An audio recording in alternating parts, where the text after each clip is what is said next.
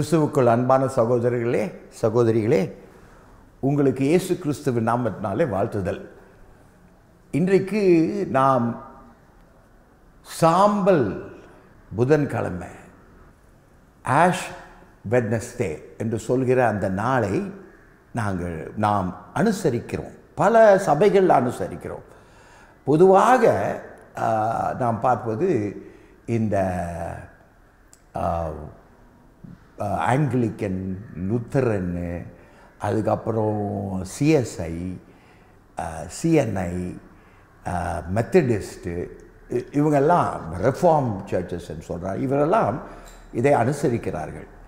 ஆனால் ஆதியிலிருந்தே பார்க்கும் பொழுது ஆதி சபை பிதாக்கள் டெர்டூலியன் அவரே சொல்கிறார் இதை இந்த நாளை ஆசரிப்பதாக. ஆனால் வேதத்தில் புதிய ஏற்பாட்டில் இதை ஒரு தனி நாளாக ஆசரிப்பதை ஒரு கடமையாகவோ அல்லது ஒரு பழக்கமாகவோ வைத்தது இல்லை.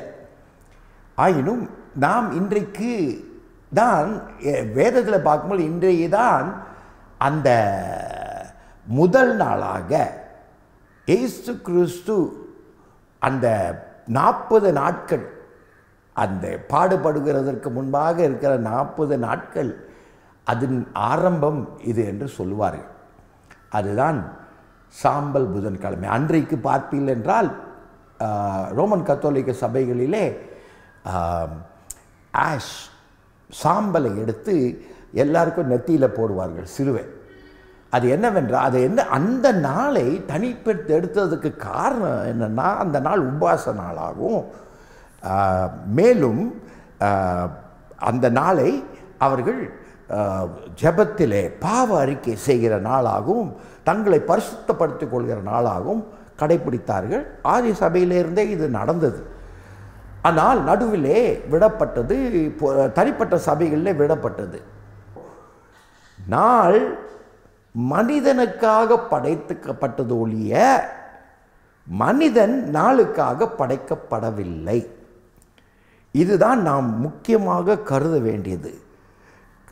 காலம் பார்ப்பது நாள் பார்ப்பது மணி நேரங்கள் பார்ப்பதெல்லாம் பல சம்பிரதாயத்தின் வழியாக இருக்கிறது. கிறிஸ்தவர்கள் கூட சில சமயத்தில் நாள் பார்க்கிறார்கள். ஆனால் இந்த நாள் நமக்கு அதை தனிப்பட்ட ஒரு உபவாசத்தை நாளாக எடுத்துக்கொண்டால் ஒரு பிரயோஜனம் பெ- நல்ல பிரயோஜனம் இருக்கிறது. அதனாலே நீ உன்னை பரிசுத்தப்படுவையோ? அதெல்லாம் இல்லை. ஆனால் அந்த நாளை தனித்து பிரித்து எடுத்து அதை உபாச நாளாய் கொண் கடைப்பிடிப்பது நல்லது.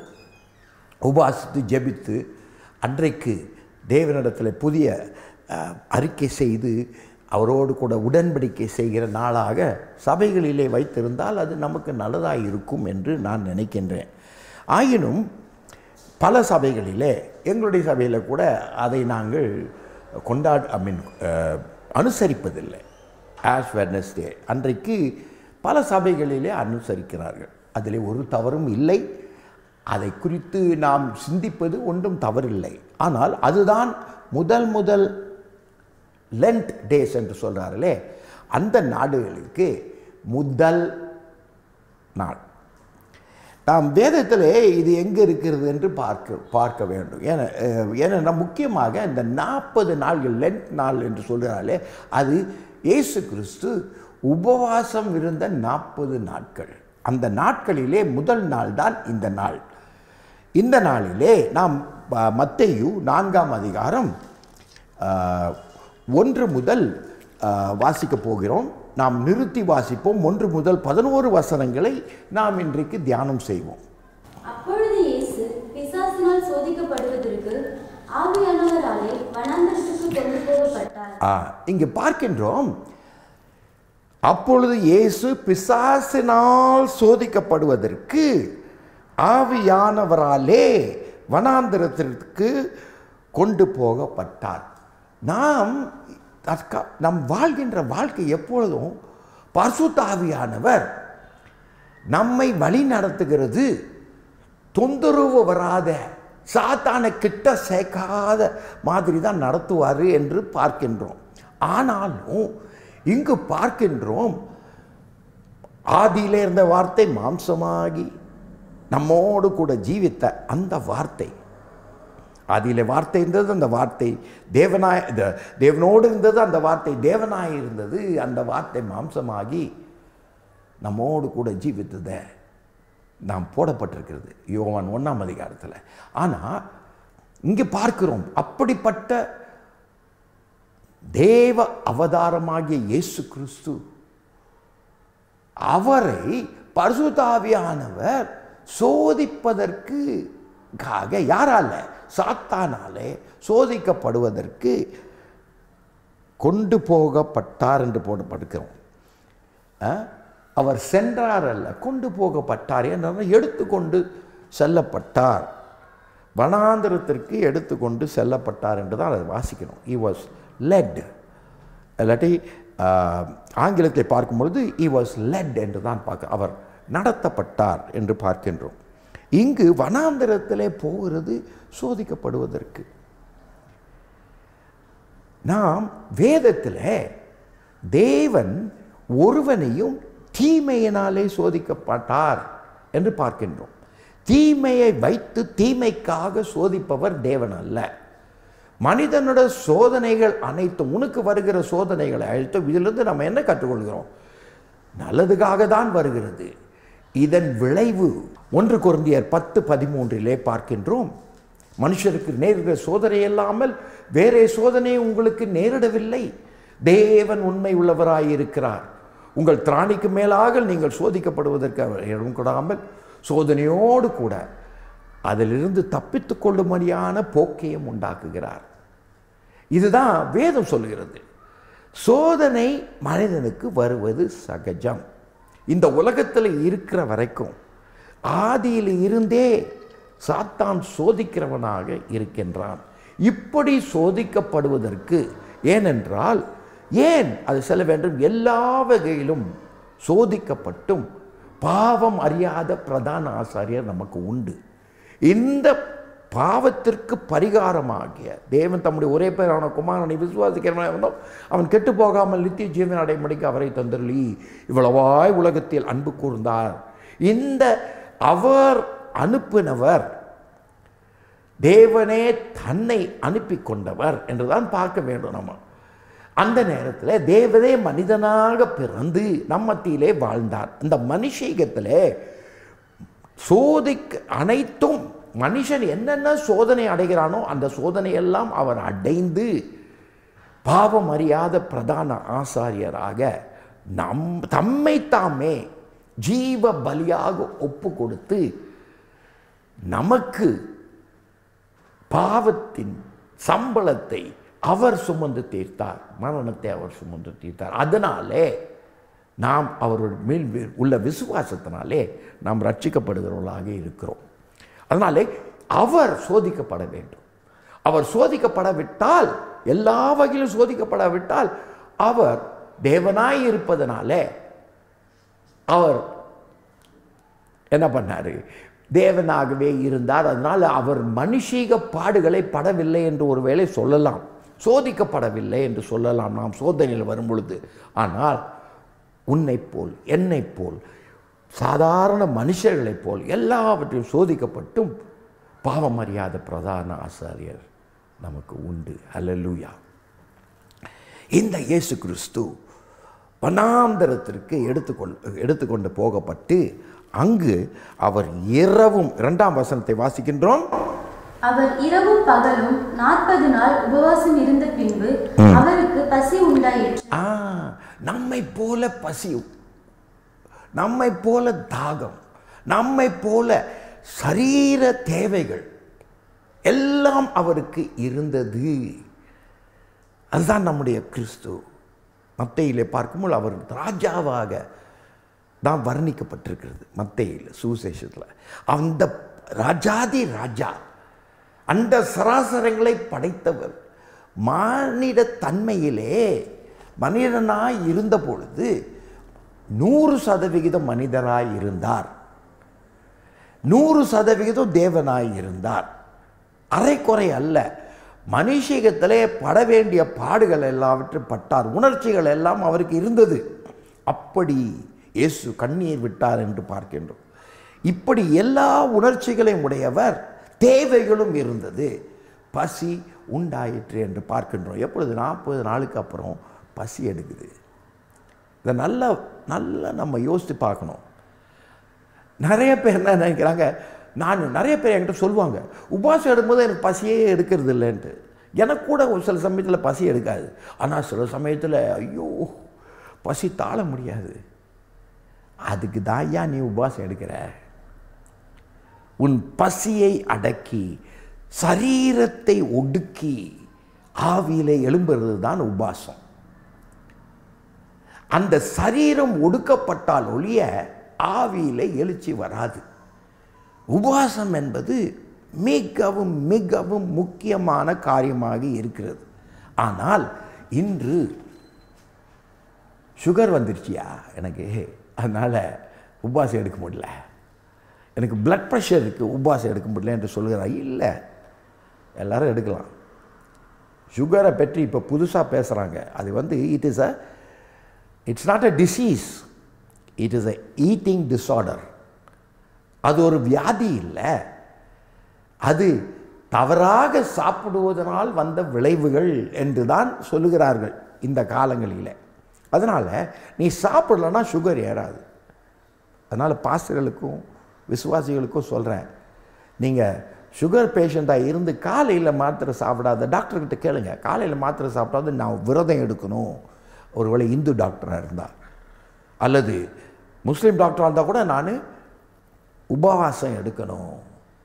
எனக்கு கண்டிப்பாக எடுக்கணும். அதுக்கு வழி சொல்லுங்கள் காலையில் நான் மாத்திரை சாப்பிடாத பட்டினியாக இருந்து அதுக்கப்புறம் நான் சாப்பிட முடியுமா?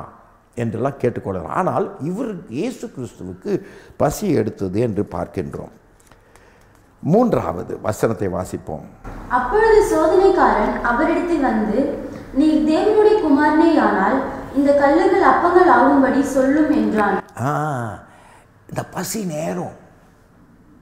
அந்த பசி நேரத்தில் தான் சாத்தான் வருகிறான். அவன் சோதனையெல்லாம் நீங்கள் பார்ப்பீங்களா என்றால் அவ்- அப்பொழுது சோதனைக்காரன் நீர் தேவனுடைய குமாரனே என்றால் உன்னை தொடுவது அவருக்கு பசி எடுக்கிறது. ஆனால் அந்த சரீரம் இறக்கப்பட்டு சரீரம் ஒடுக்கப்பட்ட நேரத்திலே பசி எடுக்கிற நேரத்திலே அவர் சோர்ந்து போய் இருக்கிற நேரத்தில் அவரிடத்துல வந்து என்ன சொல்கிறான் நீர் தேவனுடைய குமாரனே என்றால் இது தான் தான் ஏவாளிடத்திலேயே முதலில் அவனுடைய திட்டமே அதுதான். பொய் சொல்லி அதை ஏமாற்றுவது. இல்லாட்டா யோ உன்னால் முடியுமா ஐயா? நாம் பிள்ளைங்க விளையாடும் போது இவ்வளோ தாண்ட முடியுமா உனக்கு? அப்படி என்று சவால் விட்டு கொள்கிறார்கள். அதுபோலவே அவன் நினைத்து கொண்டான் மனுஷயத்திலே இயேசு கிறிஸ்து. அவனுக்கு முழுவதும் தெரியாது. இன்னொன்று சாத்தானுக்கு நல்லா கவனிச்சுங்க சாத்தானுக்கு அனைத்தும் தெரியாது. அவன் அனைத்தும் அறியாதவன். வருங்காலத்தை குறித்து அவனுக்கு தெரியாது. தேவனாலே வெளிப்படுத்தினால் ஒழிய அவனுக்கு தெரியாது. அவன் அறிவில் குறைவுள்ளவன் தேவன் தான் அனைத்தையும் அறிந்தவர் அறிகின்றவர் அறிவித்து கொண்டிருக்கிறவர். அவரை தவிர வேற யாரும் அவருக்கு அந்த எல்லா அறிவும் அவருக்கு சாத்தானுக்கு இல்லை. அவனுக்கு என்னன்னா இந்த மனுஷீகத்தில் பசி எடுக்குது. அதை பார்த்துட்டான். அவர் பசியாக இருக்கார் சோர்வாக இருக்கார். முகம் சோர்வாக இருந்தது. அதனால் அவர்கிட்ட சாப்பாடை பற்றி பேசலாம். அதனால தான் உன்னை சோதிக்கும் பொழுது கூட உன்னுடைய தேவைகளை வச்சு தான் சோதிப்பான். உனக்கு பணம் தேவை. என்ன பண்ணுறது அங்கே இருக்குது பார் பணம் எடுத்துக்கோ. ஆ? இதுதான் குறுக்கு வழி. உன் பசியை தீர்க்க குறுக்கு வழி அந்த குறுக்கு வழியாக அதிசயத்தை செய். இது வந்து மனிதன் சுயநலத்துக்காக ஜெபத்தை பயன்படுத்தக்கூடாது. வரங்களை பயன்படுத்தக்கூடாது என்பதை நல்லாக தெளிவாக இங்கே விளக்குகிறது. ஏசு கிறிஸ்து அவரை அவர்கிட்ட வந்து என்ன சொல்கிறான்னா இந்த கல்களை வாசிங்க பாருங்க. இந்த கல்களை அப்பங்களாகும்படி சொல்லும் என்றான். உடைய வார்த்தையை உச்சரிங்க. உங்க வார்த்தையே உண்டாக்கும் வல்லமை உடையதாக இருக்கிறதே பிகா ஏனென்றால் ஆதியிலே தேவன் வானத்தையும் பூமியும் படைக்கும் பொழுது அவர் சொன்னார். அது நிறைவேறியது. அவர் வார்த்தைக்கு அவ்வளவு வல்லமை. அந்த வார்த்தையை நீர் இப்பொழுது சொல்லும். படைப்பிலே ஆதியிலே ஏன் நீர் வார்த்தையாக இருந்தீர்? அந்த வார்த்தையானது தேவனிடத்தில் இருந்தது. அந்த வார்த்தை தேவனாய் இருந்தது. அதனால் எப்படி ஆதியிலே சொன்னீரோ? நீர் தே உண்மையான தேவனுடைய குமாரனாக இருந்தா அப்போ சொன்னீர. அப்படின்னு போட்டிருக்கு வேதத்தில். அப்படி எழுதப்பட போகிறது. அது என்னவோ? நீர் தேவனுடைய குமாரன் என்றால் வார்த்தையில் படைத்தது போல நீர் இன்னொரு படைப்பை செய்யும். ஒரு பொருளை இன்னொரு பொருளாக மாற்றும் என்று சொல்லுகிறான். அவன் சோதனை என்னவென்றால் கேள்வி என்னவென்றால் அவனுடைய தே இயேசு கிறிஸ்துவனுடைய ஆழ்த்தத்துவத்தை அவன் சந்தேகப்பட வைக்கின்றான். ஐடென்டிட்டி உன்னை சோதிப்பதும் உன்னை எதிர்த்து போராடுவதும் இங்கு தான் இருக்கிறது. நீ யார்? நீ தேவனுடைய பிள்ளை. நீ தேவனுடைய பிள்ளையா இருந்தா குறுக்கு வழியில் இதை செய்து காட்டு அப்படின்னு சவால் விடுறான் நம்ம நிறைய ஊழியக்காரங்கள் கூட இப்படி இப்படி மறந்து போயிடுறாங்க. அல்லது சிக்கலில் மாட்டிக்கிறாங்க. ஏனென்றால் நீ தான் தேவனுடைய பிள்ளையாச்சே.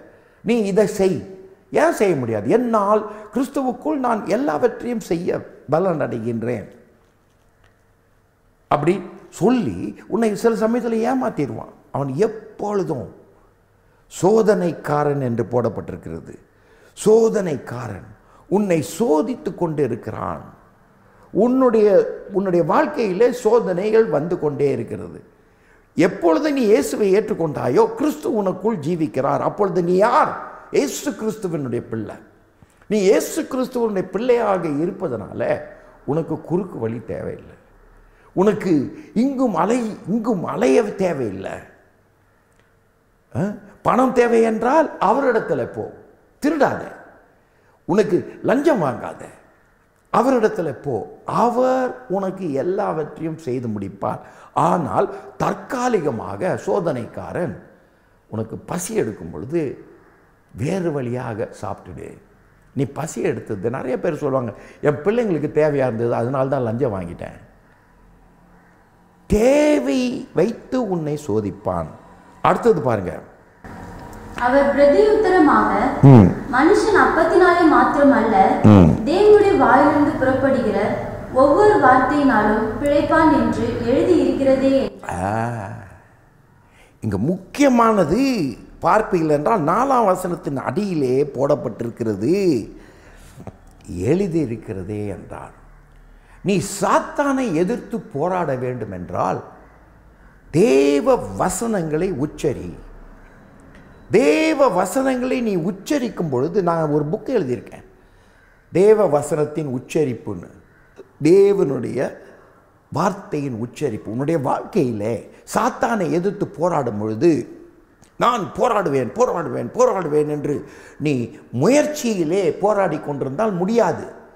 ஏசு கிறிஸ்துவே அவரே வார்த்தை. அவர் சொல்கிறதெல்லாம் தெய்வ வார்த்தை.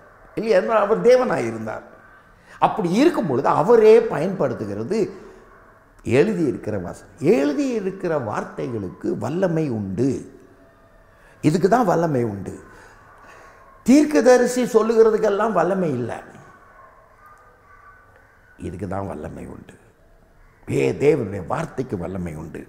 அதனால் இங்கு அவர் சொல்கிறார் எழுதியிருக்கிறபடி மனுஷன் அப்பத்தினாலே மாத்திரமல்ல தேவனுடைய வாயிலிருந்து புறப்படுகிற ஒவ்வொரு வார்த்தையினாலும் பிழைப்பான்.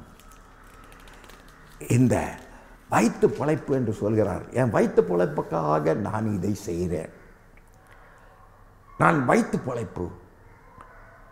நமக்கு பசி எடுத்தால் அந்த பசியை அடக்கி கொள்ள முடியாத நிலையில் இருக்கிறோம்.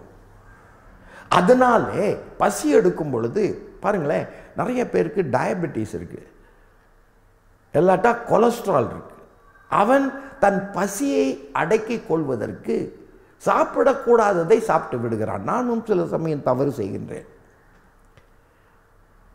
சாக்லேட் சாப்பிடுறதுனா எனக்கு இஷ்டம். ஆனால் அதை அடக்கி கொள்ள முடியாத நிலையிலே மனிதன் என்ன சொல்கிறான் என் மனைவி சொல்வாள் நீங்கள் எப்பவுமே சாக் ஸ்வீட்லாம் சாப்பிடக்கூடாது. வீட்டில் ஒரு ஸ்வீட்டை வைக்க மாட்டான். அப்படி இருக்கிற நிலையில் எனக்கு வர்றவனுங்க எல்லாம் வீட்டுக்கு வந்தால் என்ன பண்ணுவாங்க? ஆஃபீஸ்க்கு வந்தால் வேறு. அவங்களுக்கு தெரியும் இதை. அதனால் எனக்கு நல்ல சாக்லேட் கொடுப்பாங்க. நான் என்ன பண்ணுவேன்? எடுத்து அதை அடியில் வச்சுக்குவேன். சோதனை பாருங்கள் தான் முதல்ல அடியில் வச்சுக்குவேன். யாராவது வந்தால் கொடுக்கலான்னு சொல்லி வச்சுருவேன். ஆனால் அதை எடுத்து நானே சாப்பிடுவேன். இதுதான் சோதனை. அந்த சாக்லேட் சாப்பிடுவதனால எனக்கு நானே கத்தியில் குத்திக்கிறது மாதிரி டயபெட்டிஸ் ஏறப்போகுது. சுகர் பிளட் சுகர் ஏறப்போகுது. அது அந்த மாதிரி இல்லாதபடி சோதனையை வைத்து தேவையின் சோதனையை வைத்து உன்னை இன்று சோதித்து கொண்டிருக்கிறான். உன்னுடைய சரீர தேவை. வைத்து சோதிக்கொள்கிறான். நாம் தொடர்ந்து நாம் இதை குறித்து வேறு நாள் பார்ப்போம். இயேசு கிறிஸ்து சோதிக்கப்படும் போதெல்லாம் அவர் வார்த்தையை பயன்படுத்தினார். உன்னுடைய வாழ்க்கையில் சோதனை வரும் பொழுதெல்லாம் வார்த்தையை பயன்படுத்து. நாம் வேத வசனத்தை வைத்துதான் இயேசு கிறிஸ்து சாத்தானை எதிர்த்து போராடினார் என்று பார்க்கின்றோம். வேத வசனம் தான் இருப்பரும் உள்ள க- பட்டயம். உன்னுடைய வரங்கள் அல்ல வேத வசனம் அதனால் வசனங்களை உச்சரிக்கும் பொழுது உனக்கு வெற்றி கிடைக்கிறது. இயேசு கிறிஸ்து கூட வசனத்தை பெற்று தான் வைத்து தான் எழுதியிருக்கிறபடி என்று. எழுதியிருக்கிற வசனங்களுக்கு அதிக அதிகாரம் உண்டு.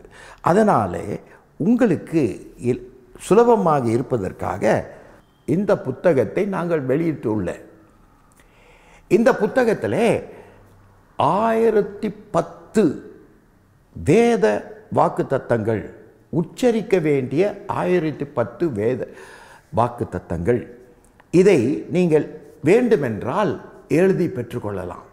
சோதனைகள் வரும்பொழுது அதற்கு தலைப்புக்கு ஏற்ப உங்களுக்கு ஒருவேளை தனிமையிலே நீங்கள் தவிக்கிறீர்கள் என்றால் நான் உன்னுடைய இருந்து நீ போகிற இடத்துல எல்லாம் உன்னை காத்து இந்த தேசத்துக்கு உன்னை திரும்பி வர பண்ணுவேன் நான் உனக்கு சொன்னதை செய்யும் அளவும் உன்னை கைவிடுவதில்லை என்றார். என்ற அந்த வசனத்தை நீங்கள் சொல்லும் பொழுது சாத்தான் தோத்து போவான்.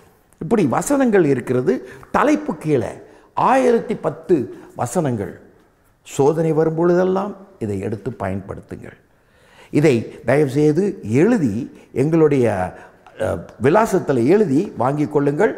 இதனுடைய நாங்கள் இதை காணிக்கை எண்பது ரூபாய் கொடுக்கிறவர்களுக்கு இதை கொடுக்கின்றோம். இதற்கு எண்பது ரூபாய். அது மேலும் இதனுடைய தபால் தேவையான காசையும் அனுப்பீர்கள் என்றால் இதை உங்களுக்கு அனுப்பி வைப்போம். கர்த்தர் உங்களை ஆசீர்வதிப்பாராக. கர்த்தர் உங்களோடு கூட இருந்து வெற்றி தருவாராக.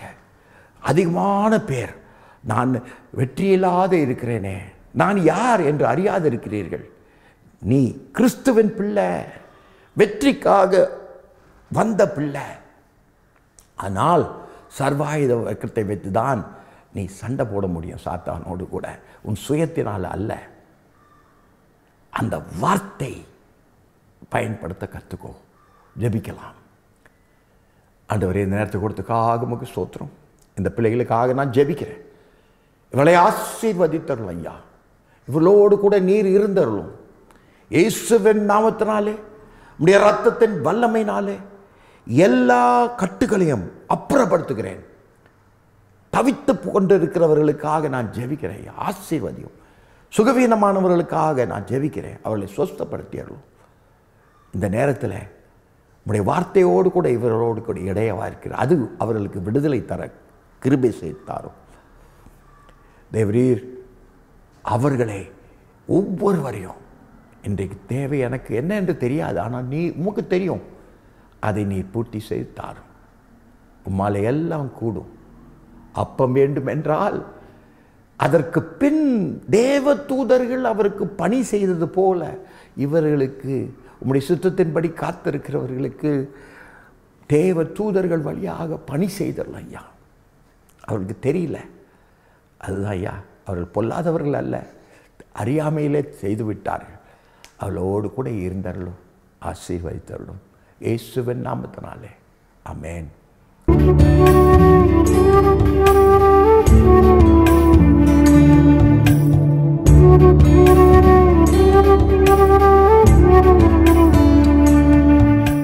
உங்களுக்கு ஜெப குறிப்பு இருந்தால் நீங்கள் கீழ் காணும் முகவரிக்கு எழுதவும் உங்களுக்காக நாங்கள் ஜெபிப்போம். வெள்ளிக்கிழமை தோறும் உபாசித்து ஜெபிக்கிறோம். எங்கள் எங்களுடைய ஜபக்குழு முழுவதுமாக சேர்ந்து. அன்றைக்கு ஜெபிக்க உங்களுக்கு ஆயத்தமாக இருக்கிறோம். ஜெபக்குறிப்பு எழுதுங்கள். ஒருவேளை இதை குறித்த நான் பேசுனதை குறித்த கேள்விகள் இருந்தால் எழுதுங்கள். இந்த இந்த ப்ரோக்ராம் பலருக்கு போய் சேர வேண்டும். அதனால் உங்கள் நண்பர்களுக்கெல்லாம் இதை அனுப்பி வையுங்கள். கர்த்தர் உங்களை ஆசீர்வதிப்பாராக. அவன்